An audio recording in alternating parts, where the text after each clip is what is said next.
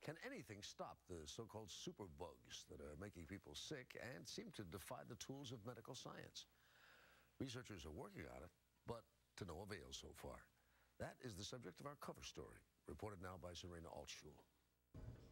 Two month old Harrison Carlin has been in and out of intensive care all of his short life.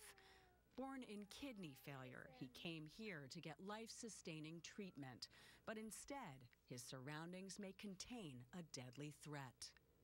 It kills people, this one right here. This one is the, the mortality rate uh, in, in some of the as high as 40%. Terrifying. They're called superbugs, and they have an uh, enemy in this man. No, these are, these are very dangerous organisms. Infectious disease specialist Dr. Robert Moellering at uh, Harvard's Beth Israel Deaconess Medical Center uh, has devoted to studying them.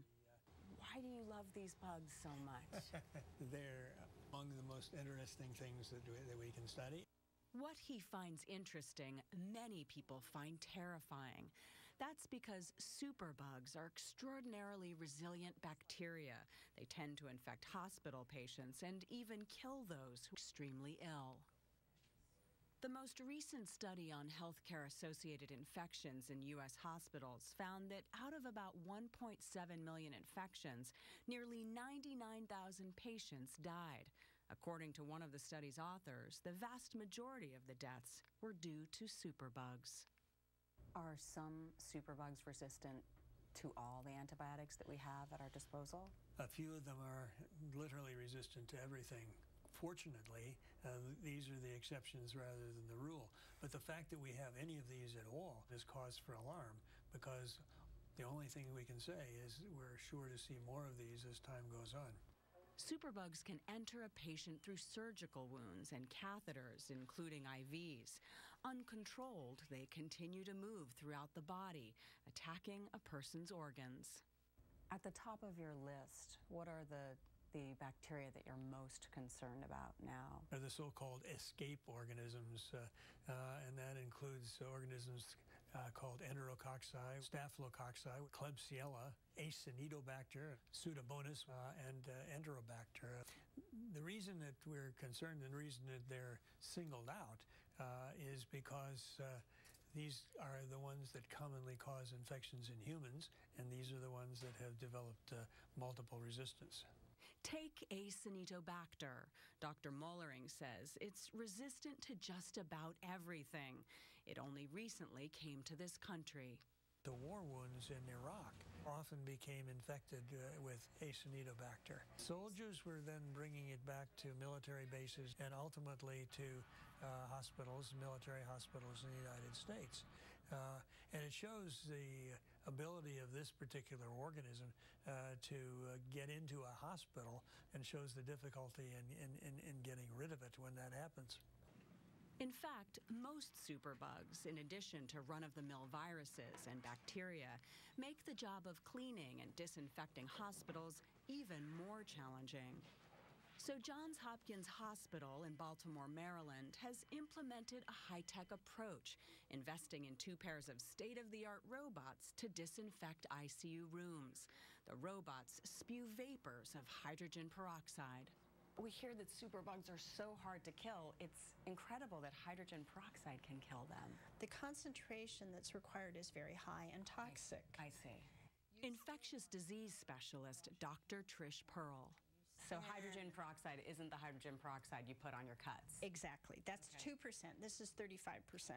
Dr. Perl has studied how well the robots work against superbugs. They actually are highly effective. She found a 90% reduction in the room and a 60% decrease in transmission from one patient to the next. Oh, it changed culture because we could look at people and say, this room is essentially sterile now. And that is perhaps more important now than ever. A deadly strain of Klebsiella recently made headlines when there was an outbreak of the superbug at the National Institutes of Health in Bethesda, Maryland. Seven patients died. Dr. Moellering says there will be more outbreaks because, like other superbugs, Klebsiella is always changing. They're able to pick up new resistance genes, and uh, I suspect that we're just going to see continued uh, uh, progression of resistance in these organisms. Which makes treatment all the more difficult. The mortality rate for this particular strain of Klebsiella is 30 to 40 percent. For an infectious disease, that's very high. I mean, a mortality rate of more than uh, 2 or 3 percent is really high. Dr. Moellering says other superbugs are also dangerous, just in different ways. Take MRSA, which stands for methicillin resistant staph aureus. Even though it has resistant in its name, drug resistance isn't what makes MRSA most troubling. MRSA is not resistant to absolutely everything yet. Uh, the reason it's a big problem is because the organisms uh, are easily spread from person to person. So moves so quickly, it's almost hard to catch up to it. Yes, and it can cause such a wide variety of infections. It can literally infect every tissue of the body uh, except uh, the fingernails uh, uh and, uh, and, and the teeth. And that can be life threatening to patients like little Harrison Carlin. So Johns Hopkins instituted a protocol of washing children in its ICU in a special antiseptic called chlorhexidine. It's like taking a giant wet one yes. and wiping all over. We start with the chin and we wipe the entire body from the chin down. Pediatric infectious disease specialist Aaron Milstone found it protects them from blood infections, and he's now testing if it will protect them from MRSA too.